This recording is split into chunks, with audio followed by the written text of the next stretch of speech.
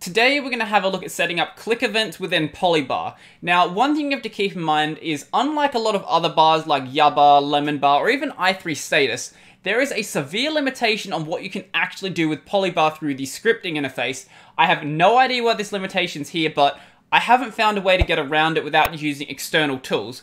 I'll talk a bit more about that when we actually get to it, but before we do that, let's actually have a look at what I mean by a click event. So this is my desktop here, and as you can see up here, I've got my polybar. Now, if I were to click on this text here, as you'll see, it'll actually make a notification. Or if I click on my volume module here, it'll open up my volume program. Or if I scroll on this here, it'll change my volume level. Now, I would say for me, there are three categories of click events that I use. Now, you can probably define the categories however you want, but this is how I'm going to define them. So firstly, we've got modules that you click and they open up some sort of programs you want to use independent of the bar. So that would be something like opening up my sound interface here. The other one that we've got is you click on a module and it creates some sort of notification to give you some bit of information. That would be this here or a bit more useful would be something like this here which shows my crypto prices or also this one right here which will show the torrents that I currently have available. And the other thing I like to do is run some sort of script in the background to do something like, say, change my volume level. Now, there's a bunch of other stuff you can do with your bar, but those are the three categories that the things that I do fall into. Now, before we get to actually looking at how to define them, there are two ways we can define click events within Polybar. The first one is using the interface that was designed for Polybar, so that's doing it through the variables in each of your modules. And the other method is you can do it through lemonbar action handlers. The lemonbar action handlers are a bit more powerful because they let you define more clickable areas, but they're still not as powerful as I would like them to be. So let's just go over to my polybar config and actually see how this would work. Now I'm going to assume you already have polybar installed and you already know where your polybar config is, so I'm not going to go over that today. I would assume that if you don't, you probably have more important things to learn about polybar than how to do click events. We're going to be having a look at two modules that I defined earlier. We've got the subs module here and we've got the test module. The subs module is this module here which shows my YouTube subscribers and the test module basically is just a test one I made to test out the lemonbar tags. Now we're going to go over the subs module first just because that's the variable method. As you can see in here, I've got a click left and I've got a click right. The rest of this stuff isn't too important. You can define this as an IPC you can do exec or exec if. You can do an interval of zero, you can do an interval of a thousand. The rest of this stuff doesn't matter. The only thing we care about are these two lines right here. Just keep that in mind. The rest of the stuff is just boilerplate to get the module working. So as you can see, I've got a click left and a click right. There's also a click middle, a scroll up, a scroll down, a double click middle, a double click left, and a double click right. For the double click events, the way those would be written would be double, click, and then left, right, or middle. We're going to do left right now, and what we're going to be doing is opening up my terminal. Now, you could just write it like this. There's an issue with what we're doing here, though. So, if you just open up the terminal, or you open up any sort of program that isn't just going to end really quickly like just a little script, what's going to happen is your polybar is actually going to freeze until that program closes. So let's just actually run it like this and see what will actually happen. So as we can see, that was on my subs one. And if we just double click left, as you can see, it's opened up my terminal. But if we just look at the clock up here, as you'll notice, nothing's actually happening. And let's say we click on one of the other modules. None of these other modules are going to work right now. And that's because the polybar is actually frozen because we've got this program open here. As soon as we close this though, everything will start working as we would expect. So what we have to do instead is make sure that we fork the process into the background. And the way we do that is just with an ampersand. So we save this, reload it again, and give it a second to load up my polybar. And double click on this one. Now, as you can see, if we click on here, this is all still working, but we can still open up extra stuff and nothing is freezing. So open more of these up. And as you can see, the notifications are still working as you would expect. So make sure, even if it's just a little script, fork everything into the background, even if the script takes half a second to run. Fork everything into the background just as your default behavior. It'll save you some trouble later. One thing to keep in mind with the double click events is that they may not work perfectly, especially if you click an update happens and then you click again. So I would recommend just sticking to the single click events unless you really, really need something else. If you need some extra ones, I would recommend just using scroll before you use the double click, just because double click can be a problem. I haven't run into any problems myself, but in the documentation it does mention that they may not work under all circumstances. Another thing you might want to do is have your module get updated when you click on it. In Polybar, this isn't as simple as doing something like just changing this from opening up a program to just running echo and I don't know, just outputting test. In Polybar, this isn't actually going to work. So if we just refresh the bar and we click on this up here, as you can see, nothing actually changes because what gets evaluated in this command right here doesn't actually affect the bar, but there is a way you can do it. So what you'd have to do instead is set up the module as an IPC module because as you see up here, when I scroll on this module, it actually does change it. Now, I've done a separate video on IPC. What I'm basically doing here is every time I scroll up, it's modifying my volume level. And then every time the volume level changes, basically it sends a signal to the polybar to say, hey, go update this bar. So unlike other bars, you do have to do a little bit of extra work to modify the bar with your click events. It can be done, and if you want to do it, it's not super difficult to do. Just go have a look into how IPC works. So let's just change this back over. And I don't think there's much of a point to go over these scroll events. They work basically the same way. Instead of clicking on it, you just scroll, and every single instance of a scroll, it'll run the command. So if you wanted to change your volume level, if you wanted to open up a program, every single click of the scroll, basically that counts as a, another click event that fires. One thing I failed to mention earlier was you actually can define click events on the bar itself. So basically the bar is defined as anywhere that there isn't a module. So this module goes to roughly here, and then obviously there's all of this blank space in here, and then any of these gaps between the modules, that's also counted as the bar. So let's take this event right here and just move it into the bar section. So that'll be this right here. As you can see up here, bar slash bar, this is my bar section here.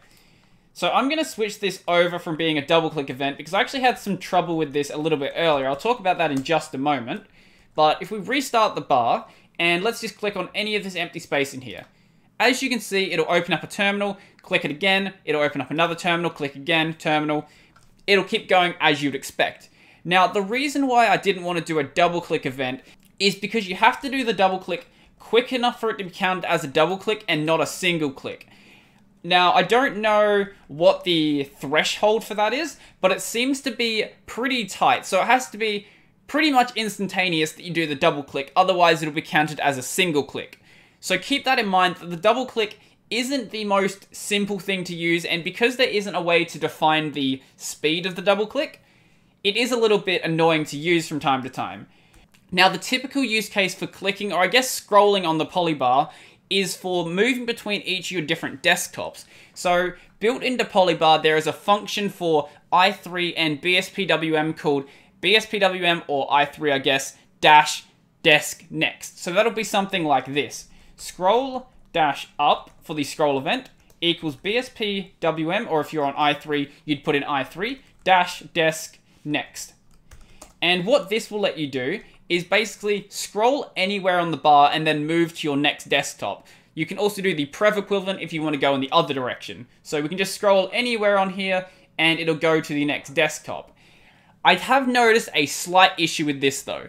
If I have this set up and I have scrolling on another module, sometimes, there you go, as you can see, if I scroll between the updates, it might move to the next desktop, which is a little bit annoying, and I haven't really found a way to avoid that actually happening.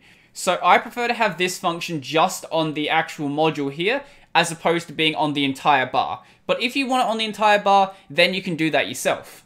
That covers pretty much everything available for the polybar method, but let's have a look at the lemonbar method now. Now what I've done in here, like with the first one, this right here and this right here is just boilerplate, we don't need to care about it. The only line we need to care about is this exec right here. So I've done this directly in the polybar, but you can do this from a script as well. It's just a bit easier to read if I echo it out right here. So what we've done is we have this tag right here, and then we have the closing tag. And then in between those two tags, we've got this text defined in here. Now, this text is defined as being clickable on my left mouse. Now, the way we know it's clickable on our left mouse is because we've defined an action handler. So an action handler is defined like this. So we need to start it with a percentage sign and a curly brace, and the first thing we have in there is A. A means that this is going to be an action handler. Now this number here, this number defines which mouse button we're going to be using. If you want to see what number is assigned to which mouse button, we've got a list of stuff right here. So 1 is left click, 2 is middle, 3 is right, 4 is scroll up, 5 is scroll down, 6 double left, 7 double middle, 8 double right. Once again, double click actions may not work super reliably. So if I was to put, say, 3 in there, that would then change this from being a left click to being a right click.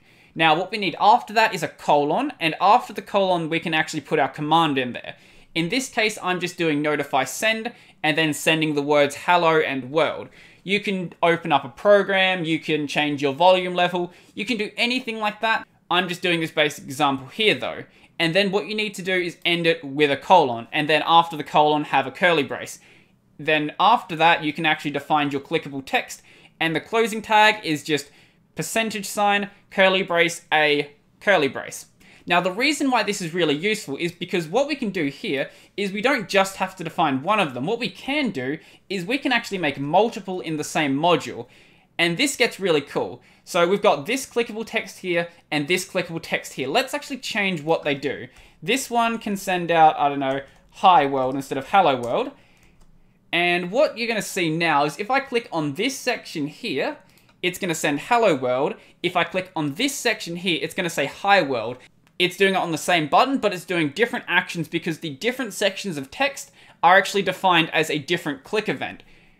The reason this is cool is because you can do things like say, I don't know, let's say you want to have a dash here and you want to have another dash here. And I'm just going to make a couple more of these off camera. Okay, so as you can see up here, I've got a bunch of dashes. Now, what are the dashes? Well, you could define this as, say, a way to do your sound level, for example. So if you click on any of these different sections, it's going to run a different command. Now, obviously, I haven't set it up to run a different command, but you could do it so the first one is for 10% volume, second is 20, 30, 40, so on and so forth. Or you could do a bunch of other stuff like that. I don't really have any examples off the top of my head. The volume example was just the first one that came to my mind. And the reason why you'd have to do a volume module like that as opposed to doing, say, on the coordinates you click on is for the reason why I said that Polybar modules are very limited. So in Polybar, through the scripting interface, I haven't found a way to actually get the coordinates that you actually click on when you're working within a script. Now, I know in things like i3 status, Yabar, Lemon Bar, you actually can get the coordinates that you click on, and it just makes working with modules way easier. But within Polybar, there doesn't seem to be a way to get that through the scripting interface. Now, I know there are ways to get this when you're writing in like C++. There's actually an interface to get it because I believe the built-in volume module actually does take advantage of your actual click location. But I haven't found a way to do it through the scripting interface. Now, that isn't to say that it's impossible to get your click location. You just have to do it through third-party tools like xdotool or other things like that.